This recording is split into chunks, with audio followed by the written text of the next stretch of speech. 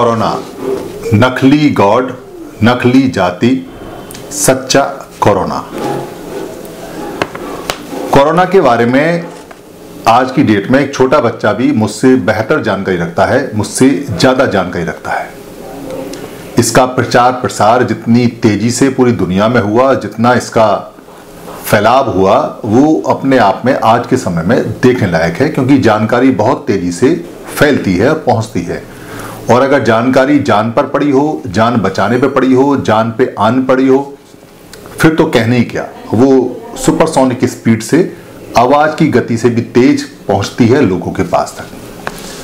मगर कोरोना इतना खराब नहीं है जितना उसको घोषित किया गया है। कोरोना अच्छा है। जो मच्चू है, मृत्यु है डेथ है, वो सर्टिफाइड है। वो सभी को आनी है।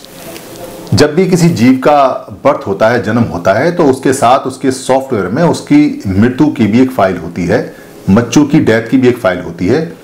अगर प्राकृतिक डेथ होती है तो नेचुरल रूप से वो आगे बढ़ती है और धीरे धीरे कमज़ोर होकर मृत्यु को प्राप्त होती है। और अगर अप्राकृतिक, यानी इननेचुरल होती है तो वो नेचुरल मौत के बजाय कभी भी किसी भी समय मारा जा सकता है, मर सकता है, मृत्यु को प्राप्त हो सकता है। ये हेतुवाद पे, यानी कॉज एंड जेनेसिस पे डिपेंड करता है। क्या कारण बने उसके, क्या नहीं बने। ये भगवान बुद्ध ने बहुत अच्छी तरह से बच्चों के बारे में, मृत्यु के बारे में बताया हुआ। कोरोना क्यों अच्छा है? कोरोना इसलिए अच्छा है कि कोरोना किसी वीज़ा को, किसी बाउंड्री को, किसी देश को, किसी कंट्री को नहीं मानता। जैसे मनुष्य ने बहुत सारी बाउंड्रीज और बहुत सारे वीज़ा, बहुत सारे लोगों से मिलने की, रोकने के बांट लिए हैं छोटे छोटे हिस्से कर दिए हैं पूरी दुनिया के, और वो बहुत ज़्यादा वर्ण भेद यानी कि जो रंग का भेद है, इसको वर्ण भेद बोलते हैं। रंग भेद या भारत के अंदर तो सबसे ज़्यादा जो विष अणु है, वो है जाति भेद है, या अमीर गरीब का भेद है, छोटे बड़े का है, काले गोरे का है, पढ़े लिखे का है, अनपढ़ का है, कमज़ोर का है, ताकतवर का है। ये बहुत सारे भेद मनुष्य ने खुद ही अपने आप डेवलप किए हैं। कोरोना ने इनमें कोई भेदभाव नहीं किया, वो सबके लिए समान रूप से आता है, समान रूप से अपना डेवलपमेंट करता है, समान रूप से अपनी ताकत को लगाता है, उसके लिए मनुष्य मनुष्य है, मानव मानव एक समान, कोरोना की यही पहचान, और मानव मानव एक समान, यही भगवान बुद्ध ने कहा है, सभी के लिए करुणा है, चाहे वो मानव किसी भी देश का हो, किसी भी जाति, वर्ग, धर्म का हो, छोटा हो, बड़ा हो, अमीर हो, गरीब हो, काला हो, गोरा हो, नाटा हो, लंबा हो, पतला हो पहाड़ पर रहने वाला हो, समुद्र में रहने वाला हो, समतल में रहने वाला हो, पठार पर रहने वाला हो, रेगिस्तान में रहने वाला हो, किसी भी भाषा का हो, किसी भी तरह से, सभी मनुष्य को बराबर मानते हुए उन्होंने ये प्राकृतिक नियम जिसको धम्म कहते हैं, वो दिए थे। कोरोना भी इस बात को मानता है और जानता है। जो ये अदना सा विष अणु है, कोरोना, वायरस को विष अणु बोलते हैं, विष का अणु या विषाणु भी बोलते हैं, ये जो विष का अणु है, छोटा सा कोरोना, ये कोरोना बड़े कमाल का है। ये किसी भी गॉड से नहीं डरता। सारे गॉड इससे डरते हैं। जितने भी दुनिया में गॉड हैं, सब बौखलाए हुए हैं सबने अपने दरवाजे बंद कर लिए हैं। कुछ जो गॉड हैं, उन्होंने तो अपने मुँह के ऊपर मास्क भी लगा लिए हैं। यानी कि गॉड से बड़ा अगर है तो वो वायरस है, विष अणु है, जो इस समय पूरी दुनिया को दहशत में रखता है।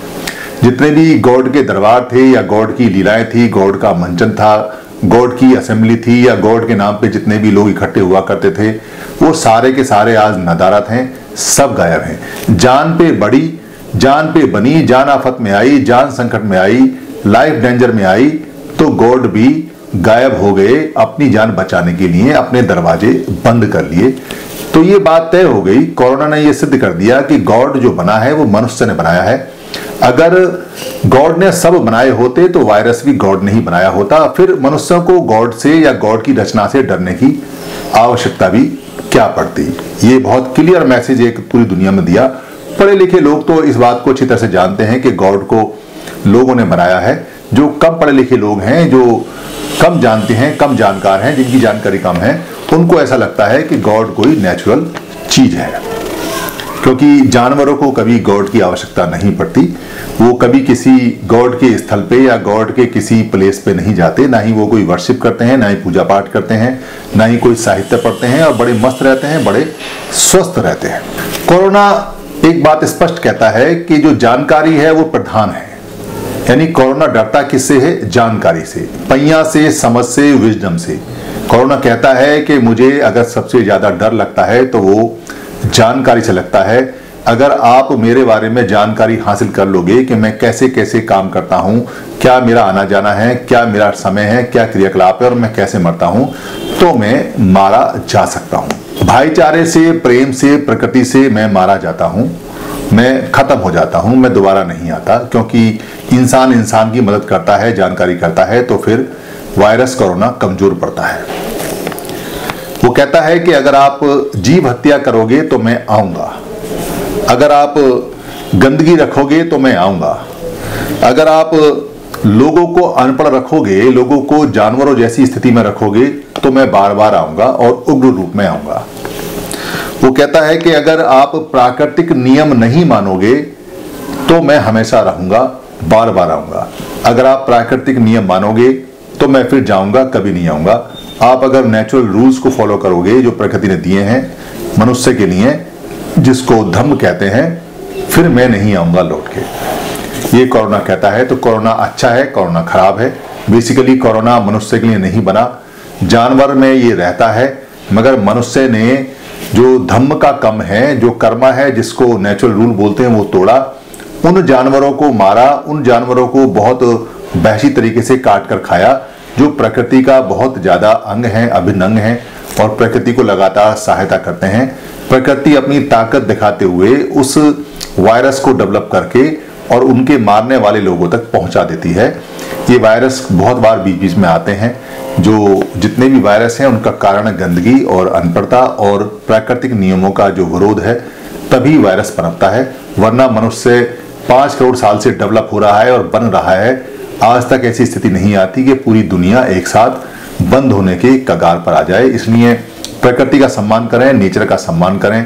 भगवान बुद्ध ने जो नेचुरल रूल्स बताए हैं, प्राकृतिक रूल्स बताए हैं, उन्हें एक बार देख ज़रूर लें।